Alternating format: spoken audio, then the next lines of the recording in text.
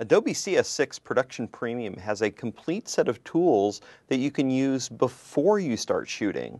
Um, in addition to the traditional post-production, authoring, finishing tools, we've actually included in the box a whole series of tools that can help you with screenwriting, um, help you organize and create reports, um, figure out which days you're going to be shooting, and then finally when you're uh, moving into the process, you've shot your video, we can help you organize your shots and generate rough cuts using a new tool called Adobe Prelude. Let me show you a quick example to start with using Adobe Story. Now what I have here on the screen is a project that contains a number of different documents. If you're not familiar with Story, you can launch Story as a desktop application um, and go into these different types of uh, documents. You can see here I have a series of scripts, some schedules, different reports. Um, if I go in and look at a script, you can see here this is a more traditional type of script, um, your standard uh, film shooting script, but there's many different types of documents that you can create directly inside of Story. I'll go ahead and click on New here, and you can see that we have AV scripts, such as two column scripts. We can import storyboards into those uh, if we want to get a list of shots, shots going. We can add character bios. And then there's new types of documents, such as schedules, um, that we can create inside of Story. Story also has the ability to manage different types of lists. So if I have a set of recurring characters that maybe I use um, on a recurring show, I can actually import them once and as I'm writing additional scripts and I type in the name of a character, the uh, tools inside of Story that will automatically fill in the names of the characters um, have a list to populate from automatically. I don't have to retype them the first time in each script, it'll use this list of characters. Same thing goes with actors, same thing goes with sets and locations. We can create these lists once, and then every time we start writing a new script, um, they'll automatically pop in.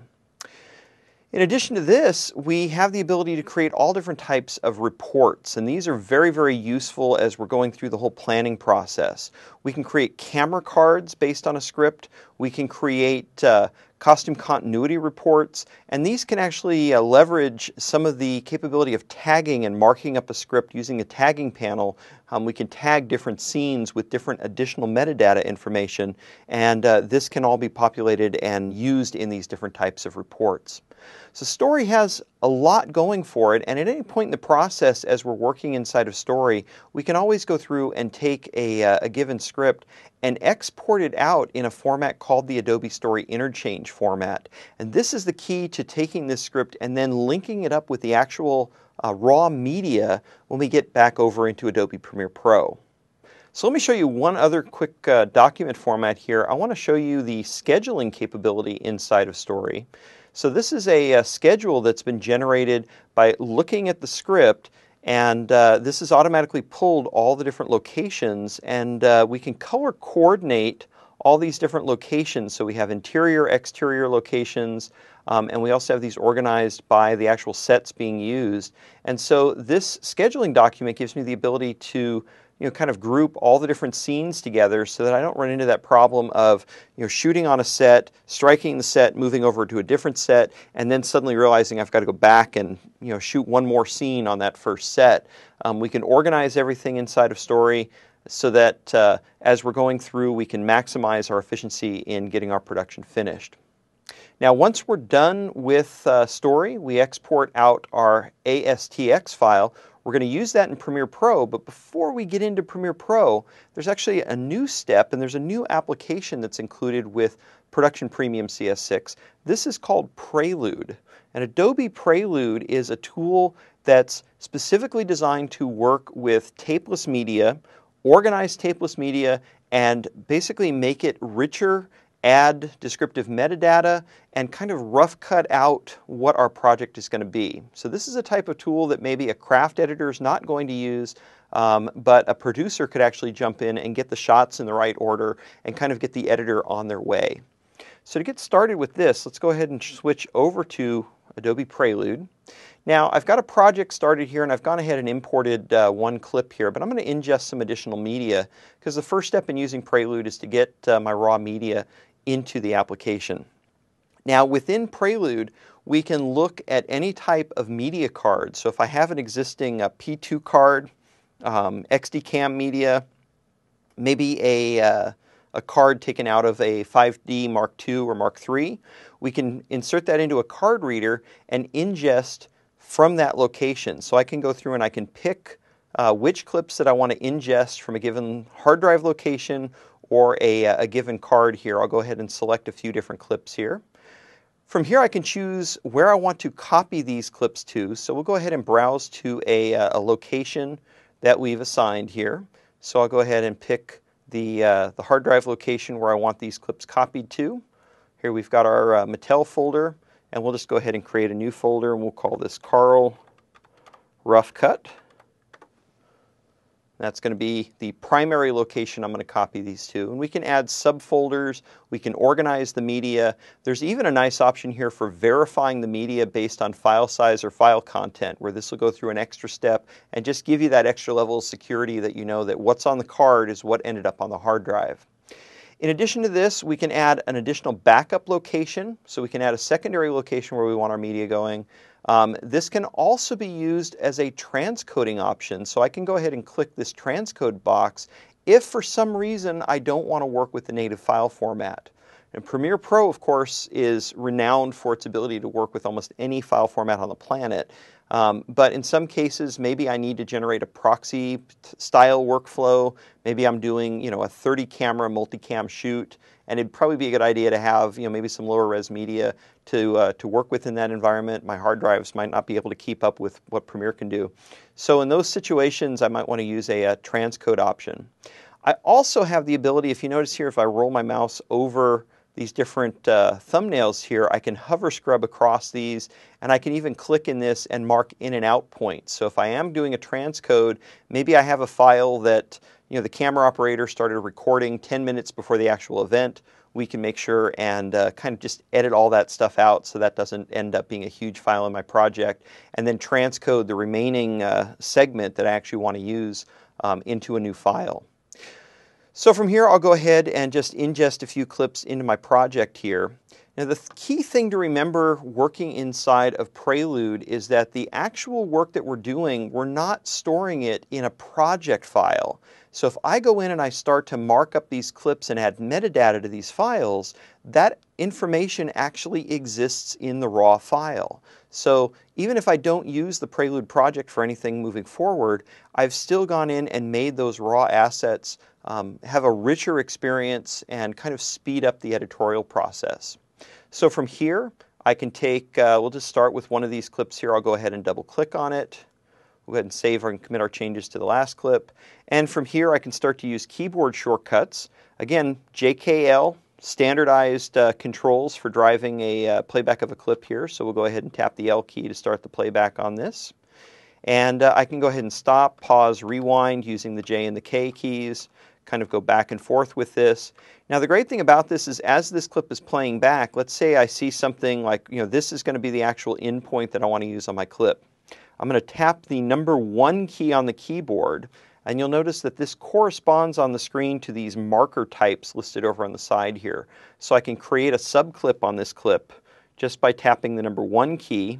And I can even do this as the clip is playing back. So we'll go ahead and back up and I'll tap the number one key and this immediately lets me start typing. I can say ramp down and I've named my, uh, my endpoint here and now if I want to go back and actually uh, change the out point I can go ahead and kind of scrub back on this and I can use the out point here to create the out point on my shot. Alright, so we've marked the in and out points on this clip. Very quickly, let me just go up and uh, we'll save this clip out so that now we actually have a subclip listed here. Um, this is now going to be the, uh, the ramp down shot. And we want that to be the beginning of our rough cut edit. So I'm going to go in and create a new rough cut. There's different ways of doing this. I could click the icon here in the project bin. I could go ahead and do this from the uh, file menu here. I'll choose create rough cut. And I've already actually uh, started a rough cut here. We'll go ahead and select that, my Karl rough cut. I'll just choose to replace this. We'll just start from scratch here. And I can go through and take this rough cut timeline we'll move into our rough cut editing mode and I can start to drag and drop these different clips on here. So here I have a sub clip. This is that ramp down shot. I want that to be the beginning of my rough cut. We'll drag this, drop it down here, and you can see that this now has um, my first clip in my edit ready to go. Now let's go ahead and go back to my logging mode and I'll go ahead and load up a different clip here. Here we have the, uh, the helicopter shot and I'll go ahead and maybe pick that up from here. This will be my endpoint, so we'll go ahead and mark that using the number one key and we'll call this uh, copter down the ramp. And I'll go ahead and play this until about there. Mark that as an out point. And again, key thing here, we'll go ahead and save this. And now we have another subclip here. You can also organize your media types by subclip here so you can see the original assets and then you can see the subclips down below. So now we're going to go back to our rough cut edit. So I'll just double click on the rough cut and I'll go back into my rough cut mode here so I just see my timeline at the bottom. So here's my first clip. Now to get my second clip in there, we'll just drag this and drop it to the end. And now you can see we've basically rough cut these two clips basically together. We've got this, the car coming down the ramp and then cutting to a different car here. And I can continue to kind of go back and forth between these different modes. I might notice like in this case, uh, this, this copter shot obviously needs a fair amount of color correction. So I could easily go back over to my copter shot and we'll go ahead and go into the logging mode. And I'm just going to make a quick comment on this shot. Comment, and we'll type in here, and I'm just going to say match the ramp orange from ramp down shot. So now I'm starting to make notes to the editor about what type of color grading I want. Do I want to match the, uh, the copter shot or do I want to match the other shot? I'm actually putting a note right here in the raw footage saying that, you know, this, this is not the orange I want. I want to match the ramp orange from the other shot in my rough cut here. And those notes are going to come across even as I move into rough cut editing mode or even as I move over into uh, uh, Premiere Pro, these again, these marks are actually being added to the raw media. So now from Prelude, I could use a command to actually uh, you know, send these files to Premiere Pro. If I uh, select the subclips or the raw shots, um, I could multiple select these and actually send them to Premiere Pro directly. Just to show you that there's no funny business, there's no additional metadata, file, anything else that could potentially get lost, I'm just going to use a, uh, um, an old-fashioned tried and true method of importing these clips. So even if I were to bring these clips over to another system and load them up, you'll see that as I select these clips, open them up on the system, not only do the raw shots come through, but also these little markers here indicate that this is a subclip. I can see the subclip name here, copter down the ramp. And if I double click on this, not only does the clip come across, but we can see we have this nice uh, marker actually shows up in the shot here so I can now read that and I can even go in and uh, type further in that and maybe make some comments for, uh, for down the road for the next person who might be working with my assets. Now the last thing we want to talk about, we were talking briefly about Adobe Story at the beginning of this and I just wanted to point out that another way we can add metadata to our video footage is by using the metadata panel within Premiere we can go in and attach that Adobe Story script to our video footage.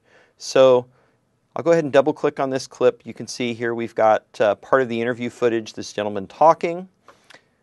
I want to attach the, uh, the metadata to this. Now I'm going to do one quick thing here. I've got my source, uh, my bin here with all my different source clips. I'm going to use the tilde key to just bring this up full screen because I want to show you one little uh, column that you'll find here. If I scroll across here, you'll notice that I've added some scene numbers to these different clips. This makes uh, attaching a large script um, this is something that uh, I had to do manually here, but what this does is it means when I go through and I attach a script, it's going to know exactly which chunk of that script. I can just bring in an entire script with you know 100 different scenes, and it will just attach the information for the particular scene that's relevant to this raw material. So I've got this one set up for scene two. We'll go ahead and tilde back out of the project panel here. And to attach the script, I just right click on the file and choose Attach Script File and point it at the appropriate place here. Here we have our uh, Fearless at the 500 script. This is the Goldenrod revision. Script revisioning, it's another great feature inside a story. We'll go ahead and double click on that. And you'll see here that this actually even has the embedded Adobe Story script, but this also includes all kinds of information about the you know, scene location, time of day, all of that information also becomes searchable inside of Premiere. So I hope you see that uh, Premiere Pro and the Production Premium package really have a complete end-to-end metadata workflow that uses tools like Adobe Story and Adobe Prelude to make the editing environment faster and a richer experience so that you can move quicker and you can get your job done much easier. Thanks for watching.